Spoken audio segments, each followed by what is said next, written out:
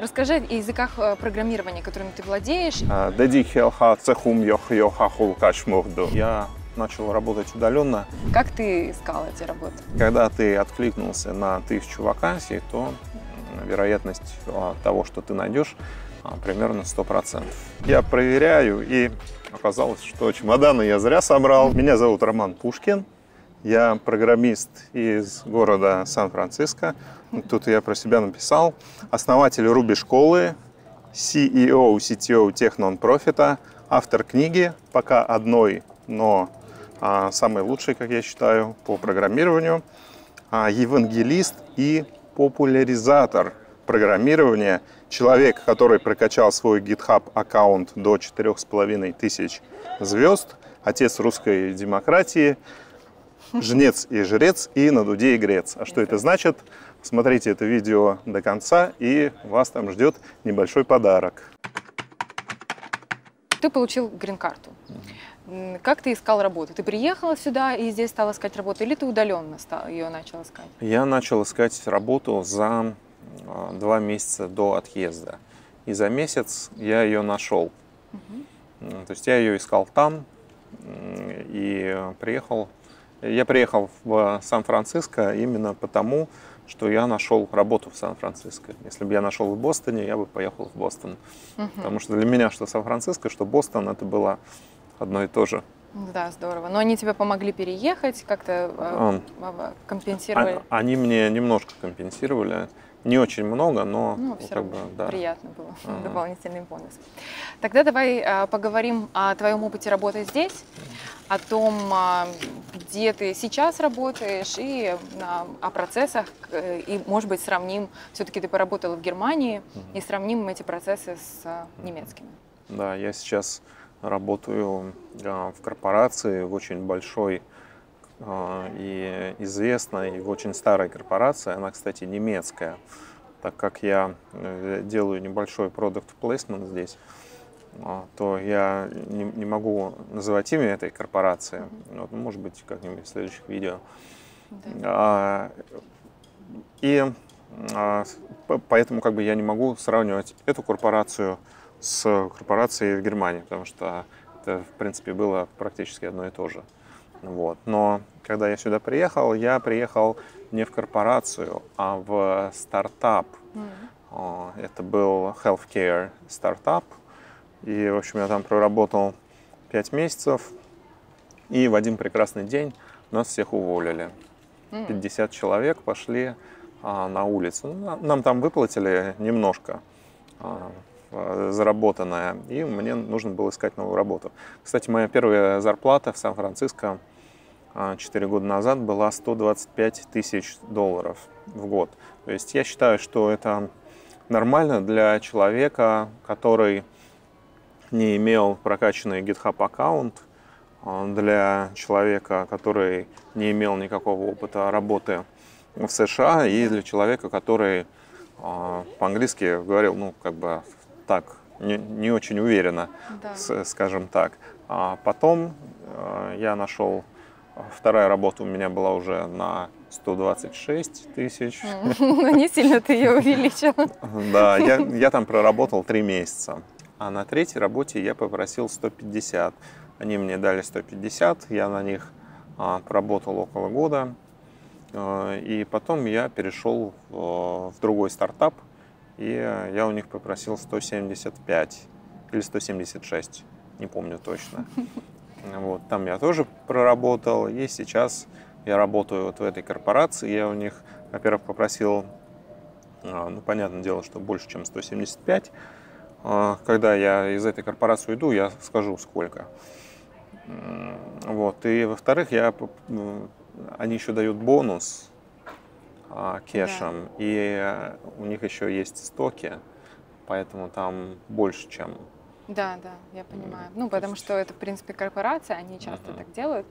А, В любом случае, я, во-первых, хочу а, сказать, что у тебя есть э, YouTube-канал, который Да. ты, он пока в стадии роста. Да, там 20 видео примерно. Да, но я думаю, что можно, я посоветую своим а, подписчикам подписаться на тебя, чтобы следить и узнавать информацию, потому что, наверное, вряд ли мы будем делать там с каждым твоим продвижением по работе интервью, а ты будешь рассказывать у себя на канале.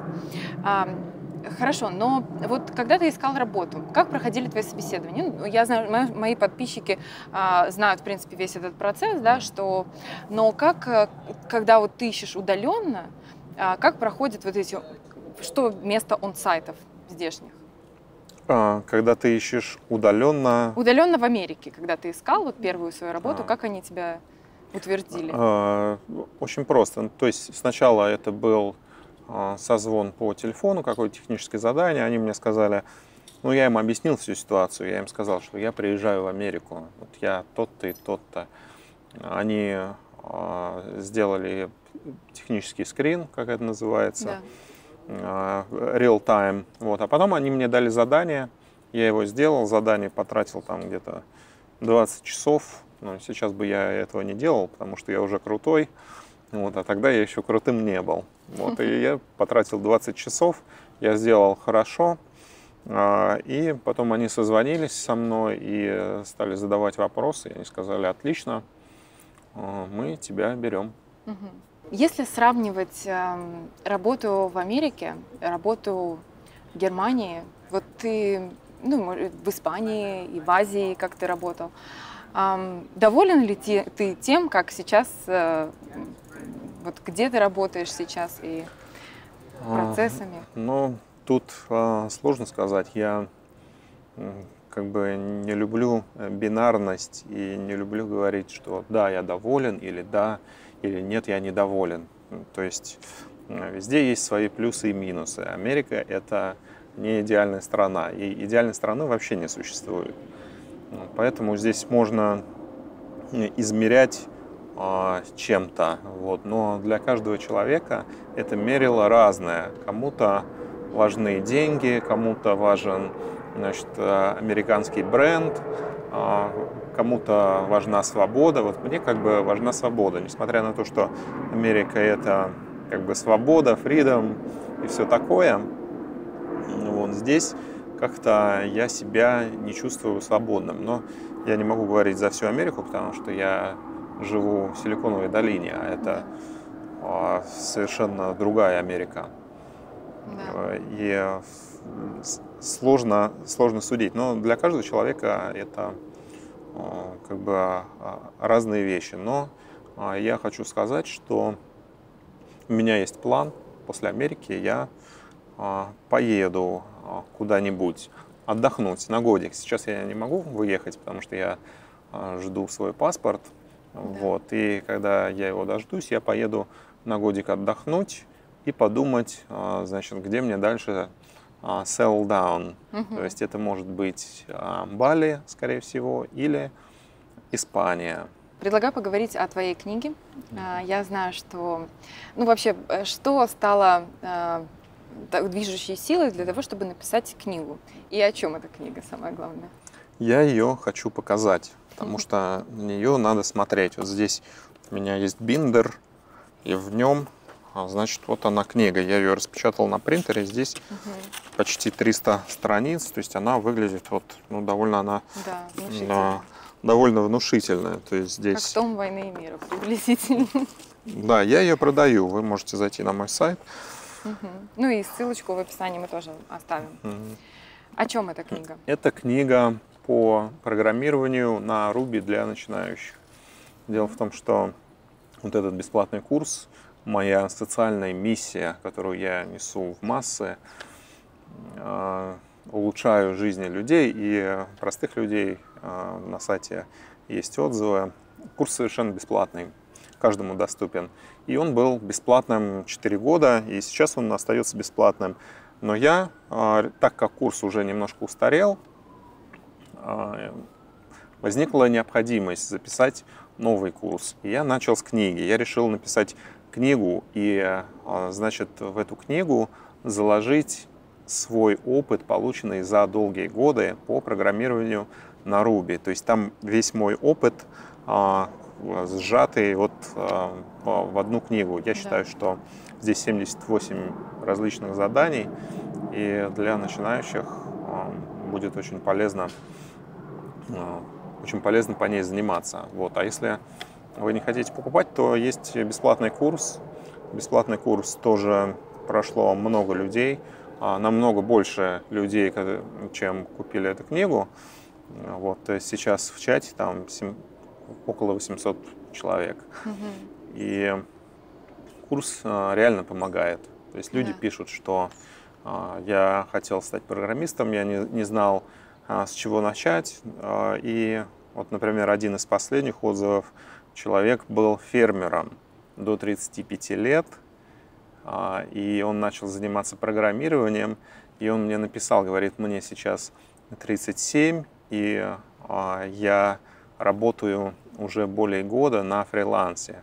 То есть ученик научился, он из Питера, научился, а, значит, освоил программирование, пошел на фриланс и, рабо- и работает успешно на фрилансе. То есть а, те программисты, которые не могут найти фриланс, могут брать пример вот с этого ученика. То есть у него был опыт около года, и, а, скажем так, опыт, не было какого-то опыта в реальных проектах. А он просто применил свой опыт, полученный из курса и из разных других источников. И я посмотрел на его а, Upwork аккаунт, и он там заработал, в общем, ну, он работает не full time, как я понял, но он более 20 тысяч долларов а, за год заработал. То есть для человека, который только что начал, да, для человека из России это а, отличные деньги, отличный да, старт. Да. Но у меня вопрос еще такой. Наверняка э, ты сам прочитал множество книг по программированию, по различным mm-hmm. языкам программирования. И сам написал книгу.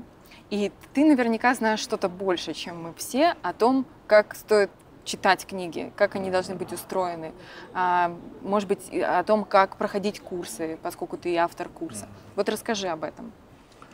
Ну, у меня есть э, две любимые книги. Первая книга это Elegant Objects от Егора Бугаенко, который достаточно известный человек, и он э, живет здесь, в Пало-Альто. Это книга про объектно-ориентированный подход. Он выпустил три книги, две по программированию и еще одна про блогинг. Вот эти все три книги у меня есть. Я надеюсь, что я автограф его как-нибудь получу. Так что Elegant Я записала Objects. себе в список будущих героев его. Вторая книга, которую я рекомендую прочитать всем программистам, это Шинель Гоголя. А, в общем, почему? Потому что программисты очень часто гонятся за деньгами. Я считаю, что я не хочу никого осуждать, вот, но просто э, вот это вечная, вечные крысиные бега, вечная погоня за деньгами, и Америка как бы она а, подталкивает немножко человека а, в эту сторону. И нужно, я считаю, что нужно делать, а, точнее не делать, а нужно жить как-то более осознанно. И многие программисты, они загоняются дом, кредиты, значит, погоня за деньгами, карьера. Вот. И потом в конце как-то смотришь, и вся жизнь, она вот как просочилась в тебя сквозь, сквозь твои ладони. Я считаю, что нужно ловить какой-то фан от того, что ты делаешь.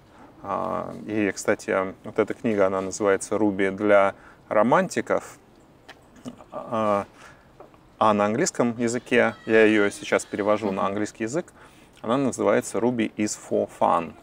Mm. То есть надо ловить фан от того, что ты делаешь, и не только а, работать на дядю и ходить в офис, а что-то делать свое, делать какие-то стартапы, а, что-то, значит, нести в массы, как-то менять этот мир. Вот я, например, а, со своим проектом LibreTaxi. Это не product placement, это non-profit.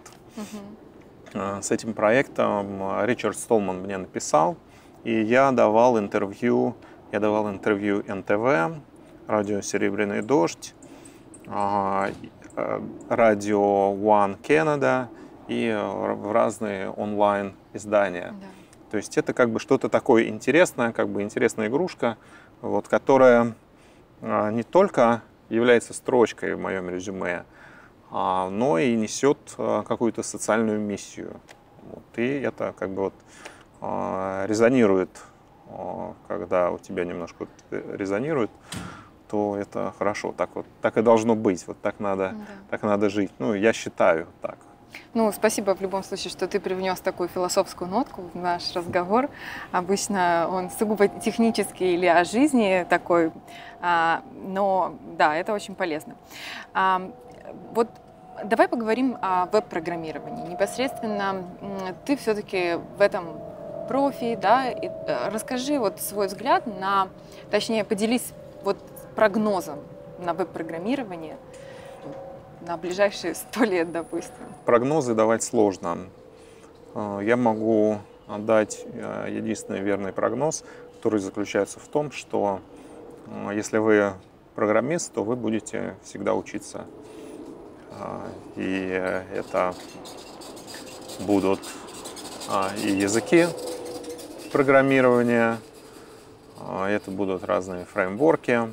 Вот. А что будет с вебом, ну, мы видим, что веб развивается.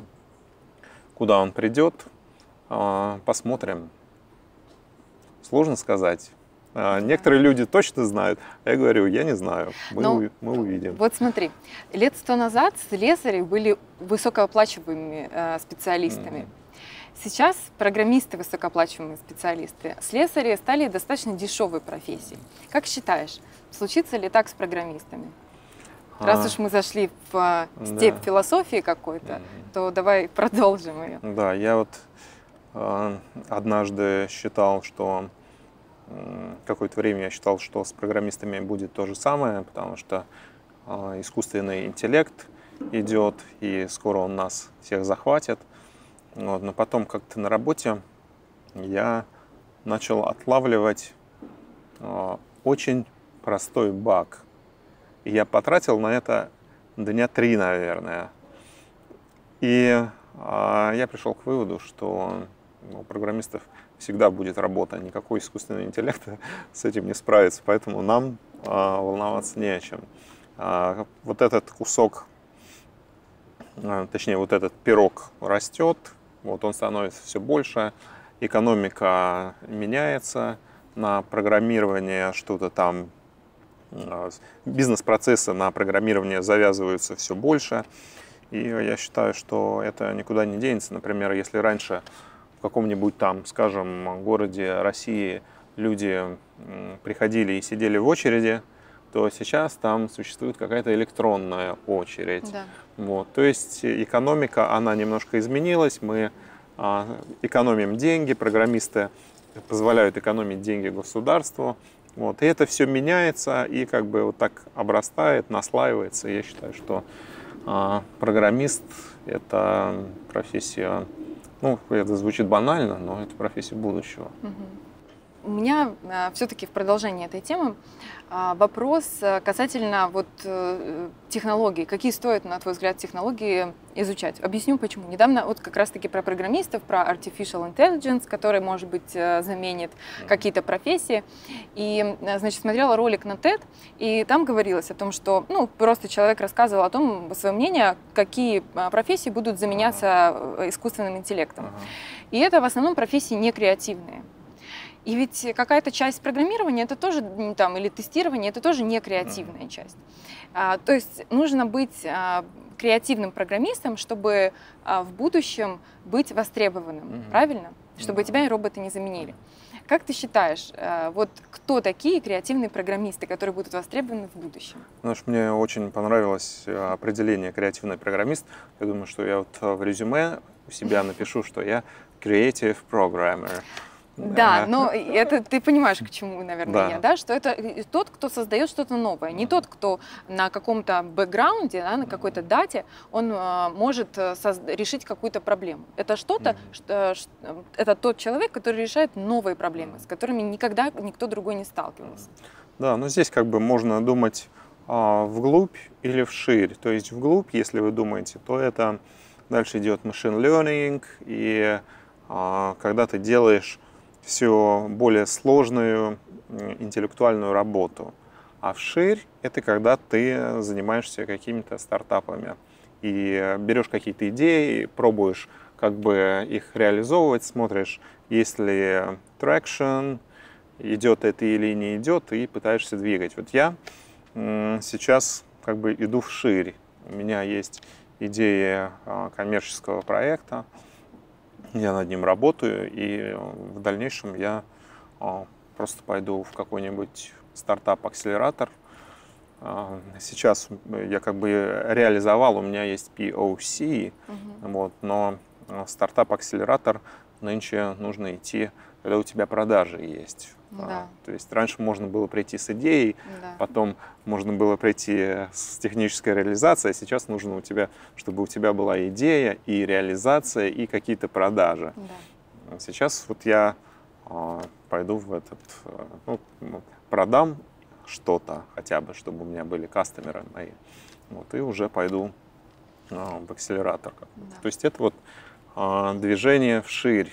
И креативный программист это вот как раз программист, который э, что-то берет, какую-то идею, реализовывает ее, смотрит, как она получается, и вот дальше уже что-то. Э, это невозможно заменить никаким искусственным интеллектом, да, потому что здесь люди, человеческий фактор. В начале интервью ты назвал себя популяризатором программирования. Uh-huh. Ты не боишься конкуренции? Ну вот все-таки а, сейчас, как я сказала, очень многие а, стремятся в программирование, в основном, конечно, из-за денег. Многие даже там не, не желая, не, не заинтересованы в профессии. Вот почему ты популяризируешь эту профессию? А, ну, вообще, во-первых, как там исторически сложилось, я не хотел этим заниматься, но а, потребовались деньги, и один мой друг сказал, научи меня программированию, и я всех научил. А потом я выложил значит, курс э, бесплатный. И вот он был почти 4 года бесплатно в интернете лежал. Э, ну, не 4, там 3, да. получается. И э, мне, в общем-то, не особо выгодно популяризировать, с одной стороны, потому что я сам являюсь программистом, и мне не нужны никакие конкуренты. Но с другой стороны, я понимаю, что есть пацаны в России, которые, в общем, в каких-то там городах сидят, и у них нет выхода на другой уровень. То есть они там где-то ходят на заводы, что-то там а, на каких-то стройках работают, что-то пытаются продать там где-то вот, и у них нет выхода на другой уровень. Вот, да. и я просто стараюсь вот а, для этих а, пацанов вот нести им эту мысль, вот, ребята, давайте заходите и смотрите а, мой курс, и, может быть, у вас есть талант. Почему я это делаю? Потому что я помню, что когда я был маленьким, там 8-10 лет, в Егорьевске, нас было много пацанов, и мы ходили по школам, по этим классам а, с компьютерами. Там у нас э, в карманах были дискеты разные, мы что-то там копировали. У нас не было возможности себе домой компьютер купить. И я понимаю, что если бы тогда у меня не было возможности заниматься компьютерами, то сейчас я бы, а, ну, у меня была бы другая жизнь, я работал бы где-нибудь на стройке и, скорее всего, принадлежал бы к другой социальной группе населения. Поэтому я как бы вот хочу, а, стараюсь для а, обычных пацанов, скажем да. так. Ну, респект тебе от, от обычных пацанов. Спасибо за интервью. И напоследок а, скажи вот о своих планах. Я знаю, ты уже озвучил, что ты хочешь а, заниматься а, стартапом, ты будешь также популяризировать программирование. Но, может быть, у тебя есть еще какие-то особенные планы? Планы служения гуманистическим идеалам человечества. Хочется сделать что-то что-то хорошее и большое. Здорово. А. Я думаю, что ты уже очень Да. близко к этому, ты уже делаешь что-то большое Да, и и, важное. и тут у нас Да. И, кстати, вот этот инструмент, с которым ты пришел, что это такое? многие, наверное, задаются вопросом, что же это такое. Вот когда у нас, значит, скрам, когда я скрам-мастер, я всех а, приглашаю на скрам вот с помощью этого инструмента. Это называется диджериду. Очень просто научиться на нем играть.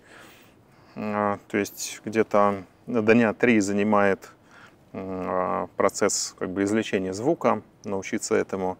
Ну и месяц, чтобы научиться как бы правильно дышать. Вот и звучит Мгм. он примерно вот так. Мгм.